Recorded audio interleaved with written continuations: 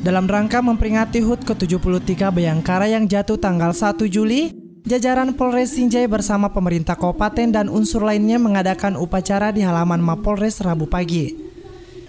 Upacara yang berlangsung hikmat ini turut dihadiri para petinggi lembaga pemerintah maupun lembaga non-pemerintah yang ada di Kabupaten Sinjai, termaksud Bupati Andi Seto Gadista Asapa yang bertindak selaku inspektur upacara. Melalui sambutan seragam Presiden Republik Indonesia yang dibacakannya, Bupati Andi Seto mengungkapkan berbagai prestasi yang dicapai Polri dalam membantu menegakkan keamanan dan ketertiban di tanah air. Hal itu pun diapresiasi oleh pemerintah, baik pemerintah pusat maupun daerah. Capaian tersebut merupakan hasil kerja keras seluruh personel Polri dengan dukungan mitra kerja dan masyarakat. Oleh karena itu, dalam kesempatan yang penuh dengan kebahagiaan ini, saya mengucapkan terima kasih dan memberikan apresiasi kepada seluruh personel Polri di mana pun saudara mengabdi.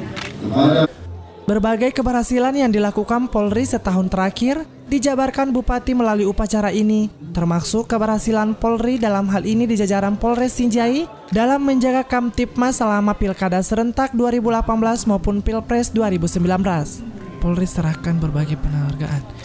Melalui upacara ini, Polres Sinjai memberikan banyak penghargaan kepada unsur-unsur yang dianggap banyak membantu suksesnya kinerja kepolisian, di antaranya TNI, tokoh masyarakat, bahkan media.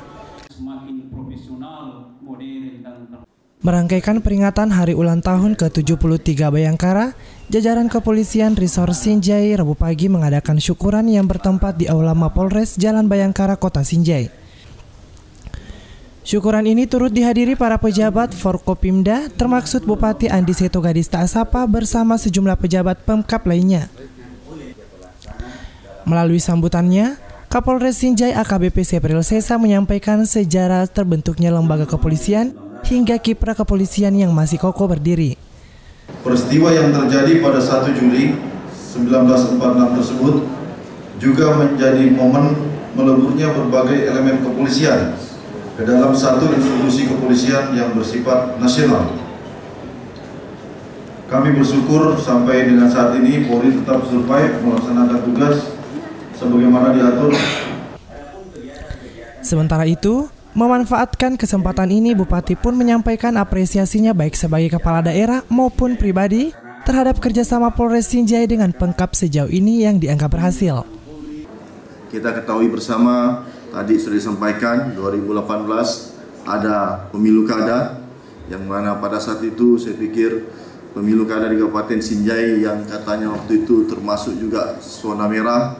Tetapi karena kerjasama antara pemerintah daerah bersama kepolisian, TNI dan yang lain-lain Alhamdulillah pemilu kada di Kabupaten Sinjai berjalan dan berlangsung dengan aman, tertib dan sukses.